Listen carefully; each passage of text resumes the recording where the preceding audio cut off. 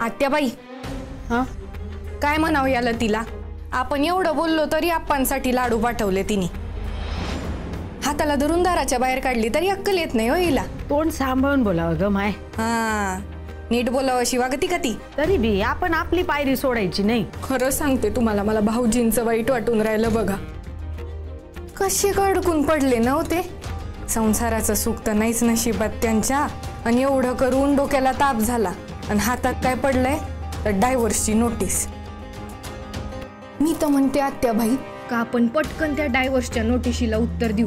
आणि भाऊजींसाठी का नाही पोरी पाहायला सुरुवात करू आपण? ग आणि आत्याबाई डायव्होर्स झाला रे झाला की बापूंच्या नाकावर टिचून आपण भाऊजींच्या लग्नाचा बार उडवायचा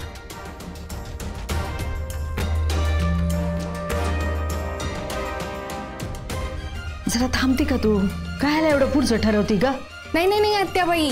त्याला तिला बी कळू दे ना. तिला काही सोनं नाही लागलेलं. अरे गेली उडत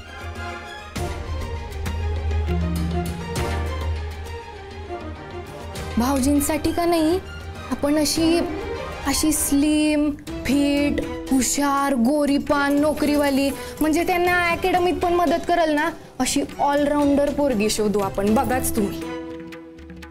आणि लती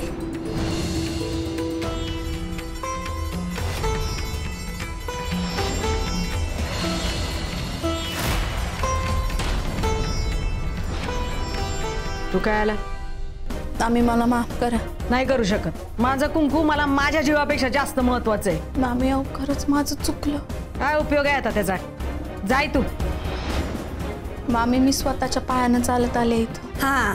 मग त्याच पायाने चालत जाय तुझ्या घरी परत. जाईन मी. मामींशी बोलून झालं का जाईन मी.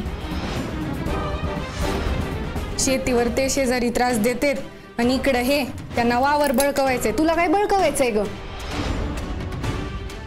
आता आपणनी तर ते इच्छापत्र बी फाडलं. आत्याबाई आपल्याला शेजारी काही लाभत नाही हो. घर असो का वावर. मला ते इच्छापत्राचं काहीच नाही तुला माणसांचं बी काही नाही ग. नाही नाही नाही आत्याबाई. माणसांचं काही नाही असं नाही. बापूंचं केवढं आहे तिला. माया बापूंना हार्टचा त्रास आहे. हिला काही नाहीये ना ते फक्त जहागीरदारांचं. येळी दाखवून दिलंय हिनं.